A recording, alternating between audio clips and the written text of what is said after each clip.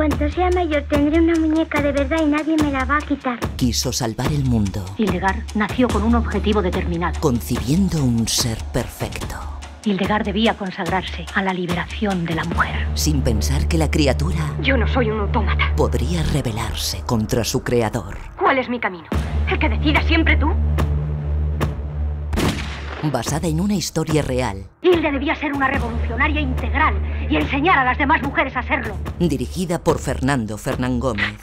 Hilde era solo mía, solo hija mía. Mi hija Hildegard. Disponible en Flixolé.